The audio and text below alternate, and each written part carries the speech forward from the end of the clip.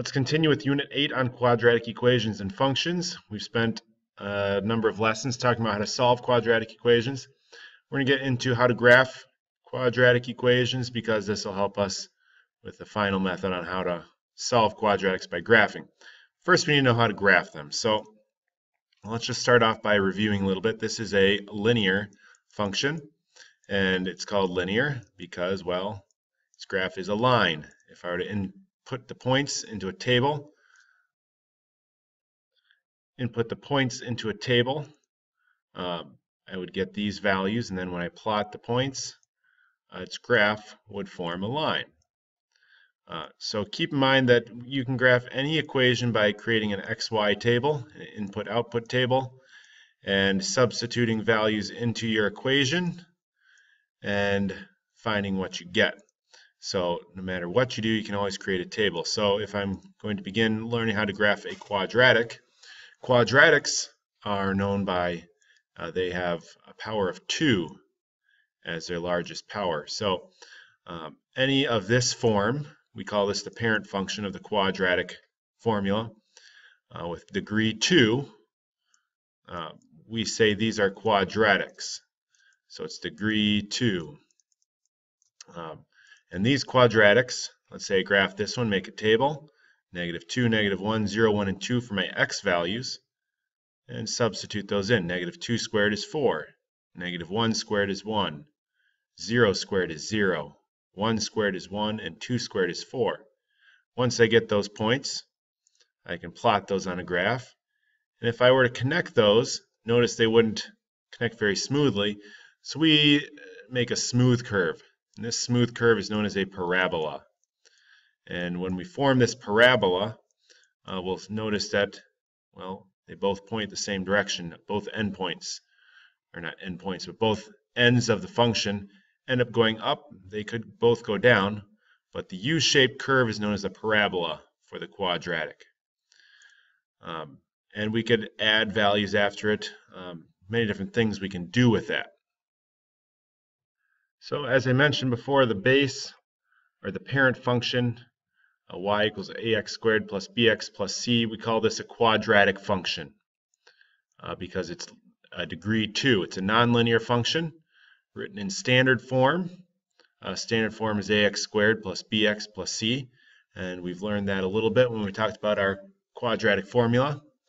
Uh, a can't be 0, otherwise 0 times x squared would give us 0, be back to a linear function. So as you fill in these notes, these are the main things, um, the main uh, features of the quadratic function, main vocabulary that we'll talk about. Uh, as we talked about before, the U-shaped graph, we call that the parabola. Uh, and the, the parent function is y equals x squared. And then everything is based off of that. We can shift the graph uh, depending what our different values of c and b are. The shifts the graph, makes it narrower or wider. Uh, but we base everything off of x squared, the basic parent quadratic function. The lowest or highest point is known as the vertex. Um, it's that point at the peak or at the very bottom uh, where the curve starts to come back around. So in the first one we looked at, you know, it's right that point right there. And if we were to divide that right in half, um, that is known as our axis of symmetry, that point that goes through the vertex which splits our parabola into two equal sides. So let's start off by taking a look at um, our basic quadratic function. And if we insert some values, we, we did this already, so negative 2. I don't know why that's not working. So negative 2 squared is 4. Um, Negative 1 squared is 1.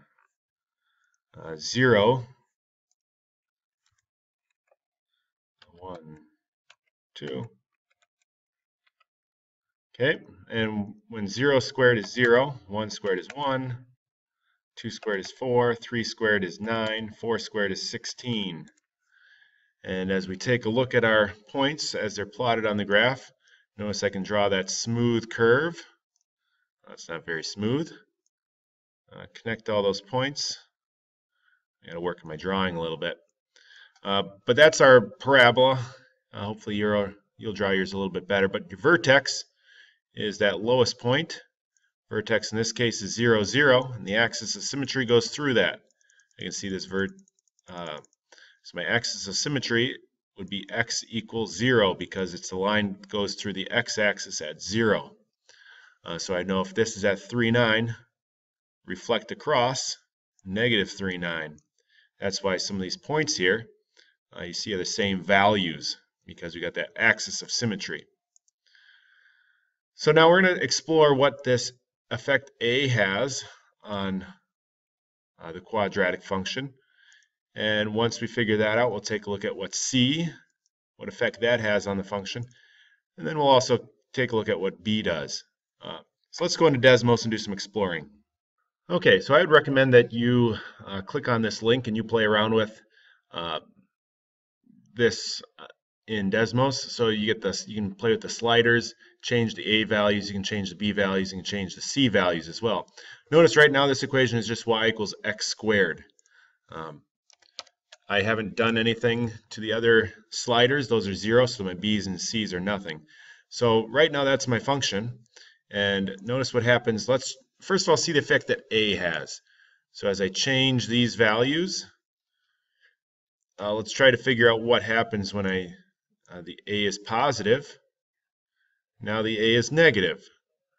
Uh, so hopefully you see that when it's positive, the parabola opens up. When it's negative, the parabola opens down. And as the values get higher and higher, uh, the parabola gets narrower. And as we get negative, as the absolute values of those get higher and higher, it gets narrower. So when the absolute value is higher, parabola is narrow. When it's smaller, it's wider. All right, so let's change now and see what C does. If I just add a C value, what happens? My C value is 5. Now what importance does that have? My C value is negative 5. Notice the graph shifts up and down based on C. And let's take a look at the B value. B by itself looks like it shifts the graph left and right in kind of a reverse parabola. Um, so it's going to you know shift in comparison with some of the other values. So let's change A and B. Uh, so when B is positive, the graph shifts left. When it's negative, it shifts right. And let's change our C a little bit. So C is 2. Notice our y-intercept is also 2. And no matter what I do to B, our y-intercept stays that. What I do to A, our y-intercept stays there. So C is going to give us our y-intercept. That'll be important to know. So play around with this a little bit more. Uh, if you want to get to know your parabolas a little better. Uh, but we're going to get going and do some more practice with uh, that in our notes. So what I would like you to do is to graph this function by first of all creating a table. Uh, let's start with the values negative 2, negative 1, 0, 1, and 2. Uh, put those values into the graph and uh, plot the graph and then figure out the vertex, axis of symmetry, domain and range, x and y intercepts. Uh, but before you do that, let's just do some visualization and compare it to y equals x squared. What is the graph going to look like? Uh, is it going to be narrower, wider, open up or down, shift up or down? Well, since this is a negative 5 for my a value, I know it's going to be opening down and it's going to be uh, narrower uh, than, let's say this is y equals x squared. I know it's going to be narrower since it has a higher absolute value, and that's not drawn very well. And then since it's plus 2, it's going to be shifted up on the graph at its intercept y-intercept is going to be negative 2. So pause the video and come up with your values and then plot it and come up with that information. When you're ready, restart the video. So these are values I got for this function compared to y equals x squared. I'm going to substitute negative 2 squared is 4 times negative 5 is negative 20 plus 2 is negative 18. Uh, so I plotted those points. I got my parabola opening down, as we said before, uh, narrower than our parent function. um, and its intercepts at 2. So vertex is 0, 2. Um, so remember, we get that, um, it's the highest point. We get a color here to highlight. So it's at the highest point, and um, a point when I draw the line through, gives us our vertex, or our axis of symmetry, x equals 0. Our domain, uh, we see will be all real numbers for x. Uh, no matter what I put in for x, I can get a value. Range is going to be less than or equal to 2, because those are the only values that I, I get from my y, since everything goes down to infinite, negative infinity. Y-intercept is 0, 2. X-intercepts, those are kind of hard to find uh, for this particular uh, function. But what I did is I substituted 0 in for y, and I solved for x. Uh, and that'll give me my intercepts. Uh, so I subtracted 2 from both sides, and then I needed to divide by negative 5. So I get 2 fifths equals x squared. And then I took the square root of that, and that gave me plus or minus uh, 0.63 uh, for my x values. So if you have a graphing calculator, we can click on those or find those intercepts um, using our TI calculator or on Desmos. Now, a uh, couple of things we want to keep in mind there uh, when, as we talked about the A value, uh, we call it a vertical stretch. I like to call it a narrower uh, parabola. And a vertical shrink if it's between 0 and 1. Uh, just talk about it being wider. Uh, when it's negative, uh, it's a reflection across the x-axis. So vertical stretch when a is less than negative 1. Actually, that should be when a is greater than negative 1. And vertical shrink if it's between 0 and negative 1.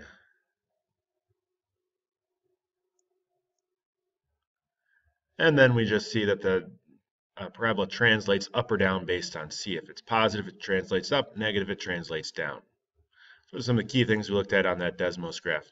Now a couple of uh, conceptual things, things that we can uh, kind of understand about a parabola is, well, what do we need to graph a parabola? How can we graph it a little bit easier than you know, maybe having to come up with a table of five different points? Well, I think this axis of symmetry would be very important because that'd be our line of reflection. If I get a point over here, I can reflect it across. Uh, so if we look at this bottom graph, is that enough information? I've got the vertex uh, right here, and I've got the axis of symmetry, and I've got a point over here. Well, I could reflect that point across. One, two, three, four, five, six. So go six across. One, two, three, four, five, six. And that's as many points as we need to graph a parabola, three points. Two points for a line, but a parabola we need uh, three points so we can find its curve. Uh, so now if I have this equation, I've got the vertex. Uh, does it open positive or negative? A value is positive, so it opens up. What other information do I have? Well, I know C is my intercept. So I know it's going to cross at 1. Well, if I know that, hey, that gives me some good information. It's going to reflect across right here. So I could draw my parabola that way.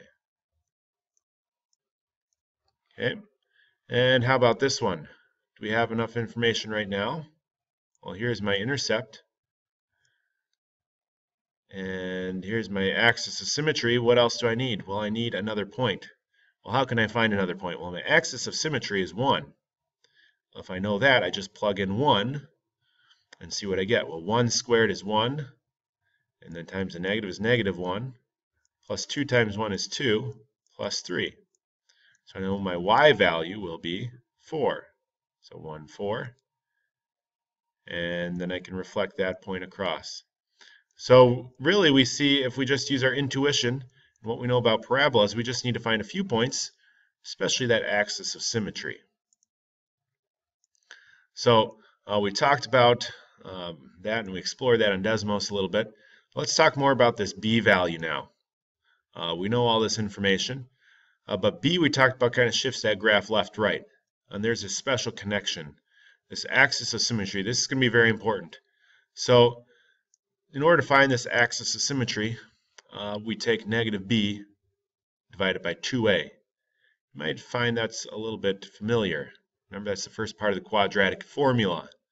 Um, because we take the quadratic formula, this is the first part of it, and then we add different values to find our roots. So uh, this value, when we plug those in, that'll give us our axis of symmetry. Uh, and that'll help us find that, that axis of symmetry, which we can plug in the x value to find our vertex.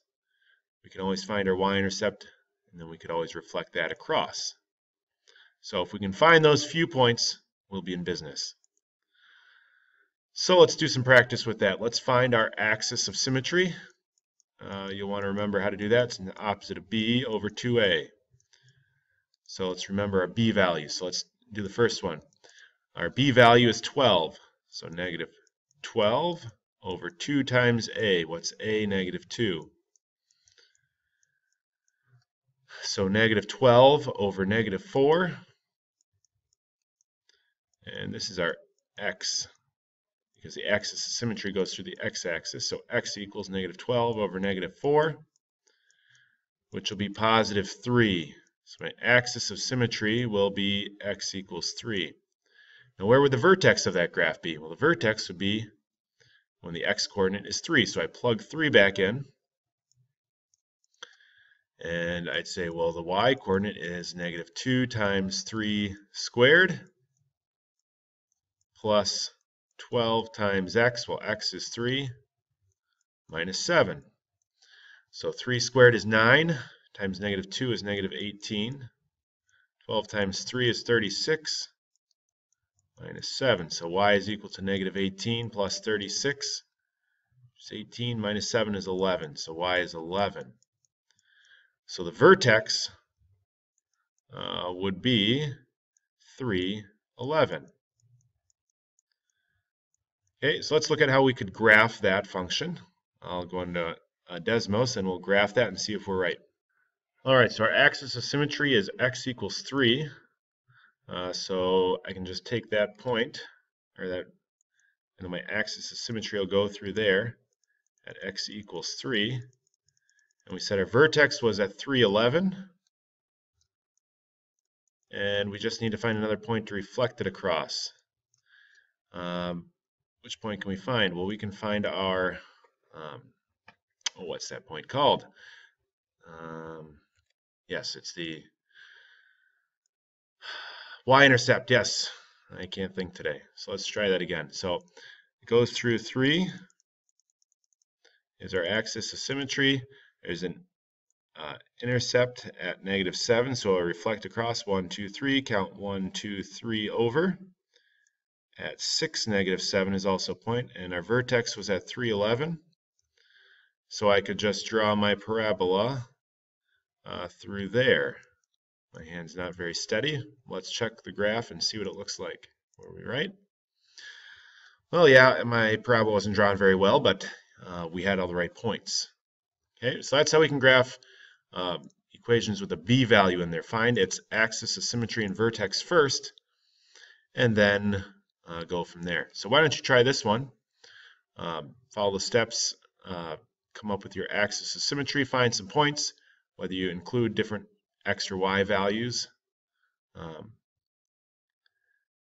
so here it suggests that you choose x and y values less than the x coordinate of the vertex. So choose values close to the axis of symmetry, one above, one below. That'll work. Or you can just find that um, y-intercept and reflect it across. So restart the video when you're ready to see what it looks like. Okay, so as we work through the problem, we know that the parabola is going to open up. If it doesn't, we did something wrong because our a value is positive. So when we have a b value in there, we know it's going to be shifted left to right. How much? Well, we figure by finding our axis of symmetry. So x equals negative b over 2a. So I've got the opposite of b, which would be positive 6, divided by 2 times a. a is 3, so 2 times 3 is 6. So 6 divided by 6 is 1. So my axis of symmetry is x equals 1. Plug that into the equation, and I get y equals negative 1. So one of my points is 1, negative 1. plot that. That's my vertex. So vertex is at 1, negative 1. And uh, then uh, what I can do is I can plot that line and reflect. So I know that my intercept has to be at 2 because that's my c value, 0, 2. And if I know that's where my y-intercept is, I can reflect that across over here to 1, 2, or 2, 2 rather. Um, and if I can't remember that, just choose some values. If this is my vertex, choose a point um, one less or one higher, because that'll keep your calculations smaller. If I go 5 to the right, it would be a very large number and make our calculations harder. So if you don't know, just choose points into your table and select them as you go. Otherwise, use your intuition and uh, figure out a point and then reflect it across. All right, so that's what we learned about uh, how to graph um, uh, quadratic function. Uh, just one final note about the maximum and minimum values. That's a special name for the vertex. And remember, we can find if it has a maximum or minimum value. Um, well, if it's opening up, it's going to have a minimum. If it's opening down, it'll have a maximum. So in this function, f of x equals negative 3x squared minus 12x plus 10. If you can visualize that, you see it's opening down. So it's going to have a maximum value. All right, so you'll get to work on graphing those in standard form. Next time we'll learn vertex form and intercept form.